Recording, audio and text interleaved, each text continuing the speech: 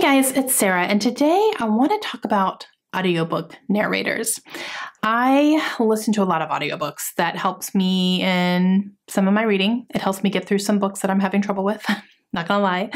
Um, but to me, they are very entertaining, and it's something that I like to do when I'm doing mundane things like cleaning or doing laundry or cooking or driving. Um, I'm usually listening to an audiobook. It just kind of helps keep me entertained, it keeps me going. And when I find a really good audiobook and a really good narrator, it helps me to do things just so that I can listen to the books. So that's a lot of fun. And I just enjoy that medium of uh, media there. So I wanted to share who some of my favorite audiobook narrators are and some of the books that they have narrated. The first one I want to talk about is Ray Porter. He is a recent listen for me. I just listened to my first book narrated by him, and it was Project Hail Mary by Andy Weir. My favorite book of the year so far.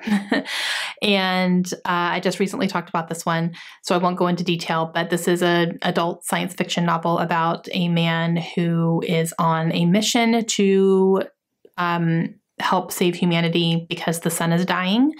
And he ends up waking up on the spaceship and he doesn't have any recollection of who he is, where he is, what is going on.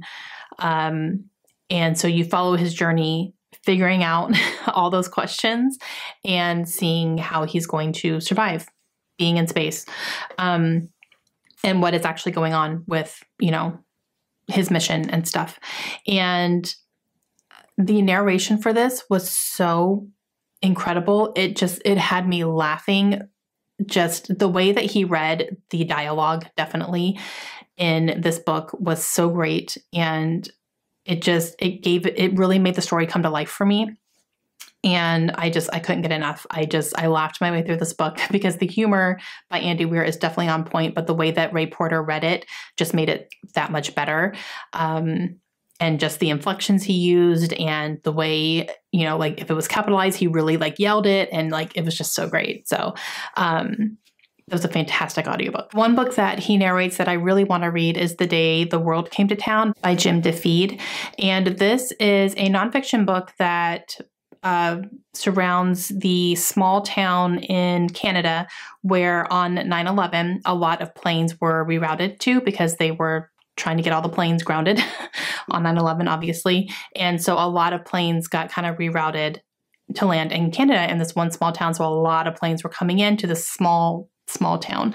And um, I've heard really great things about this book. It's been on my list to read for a while, especially because I want to read more books that surround 9 11. And uh, now that I know that he narrates it, now I want to listen to it. So I'm excited for that one. And an upcoming book that he reads is Kagen the Damned. This is by Jonathan Maberry. I have an arc of this book. It comes out in May. And I'm wondering if I'm going to listen to it because I was going to read it physically probably in April, but now that I know that he does the audiobook narration, I think I want to listen to it now. And the only reason I'm hesitating on that is because I don't usually enjoy fantasy books on audio because I tend to miss a lot of details. Um, that's just been a trend that I've seen over the years with trying to listen to fantasy on audiobook. I just I don't get as much out of it as if I'm physically reading it. Um, but I might try it. I might give this one a try to see if I can listen to it and still retain everything. Um, just because I love his narration so much, and he just he does such a great job. So uh, I might give that one a try on audio. And then if it's not working for me, just because it's fantasy, I can always stop, which is fine. Um, but I think I'm going to try it. I'm going to give that one a try. Okay, the next one is Julia Whelan. Okay, she's a very popular audiobook narrator because she narrates a lot of popular books. So I can give you some big examples of books that she has narrated. Um, let's start with authors. She narrates Taylor Jenkins Reid books, she narrates Emily Henry's books, and she narrates Kristin Hannah's books. Those are big names. uh, so she narrates those, and she does a great job. I the last one that I listened to by her was The Four Winds by Kristen Hannah, and it was fantastic. Some other popular books that she has narrated um, is Gone Girl by Gillian Flynn. Educated by Tara Westover, which I listened to, which was great. And she also narrated The Invisible Life of Addie LaRue by V.E. Schwab, which I did not listen to, but I can imagine she did a great job. Uh, so she she's a big one. She's a big one in the audiobook narrator career field. Um, and yeah, she's just fantastic. I I love her narration because she really gives her characters voices and she really puts those feelings into the words as she's reading them and you just feel along with her. Um, if a character is crying you can tell that she you know she quivers her voice and just uh, she's good. The next one i have is another one who reads some pretty popular books and that is january LaVoy. She has read a lot. Um, I'm going to give you some of the bigger books, definitely. Um, one of them is Jar of Hearts by Jennifer Hillier, which is on my list to read.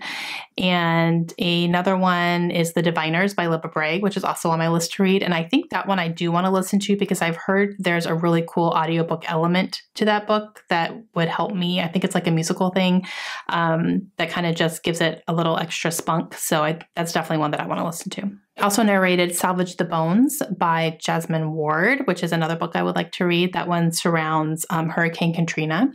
And then uh, one that I did listen to is The Night Swim, and this is by Megan Goldin. And this one follows like a podcaster, which is cool. Um, and I did listen to that one, and it was a really good audiobook. Okay, let's talk about Jim Dale. Jim Dale, you guys, oh, he's so good. Okay. Um, I'm going to give you two because these are two that I have listened to by him. They're the only two I've listened to by him. He does narrate more, but um, the Harry Potter audiobooks, you guys, phenomenal. Phenomenal. Um, on my last reread, I listened to all of them, and he's just so good. He is so good. Uh, and then he also narrated The Night Circus. And when I originally read The Night Circus, I read it physically, and then when I reread it, I listened to it, and phenomenal again. Um, just the cadence of his voice is really good, and he changes his voice for the characters, which is great, and he's just so entertaining. Okay, and the last one I want to talk about is Bahni Turpin. This is another pretty popular um, audiobook narrator. She narrates some big ones. Um, one that I listened to was I listened to Angie Thomas's book, um, she has narrated all of Angie Thomas's books, but the one that I listened to was On the Come Up. And um, I really enjoyed that, especially because there were some raps included in that book, you know, like musical songs that are raps. And I would not be able to do that. and she did a great job. So I was very happy listening to her.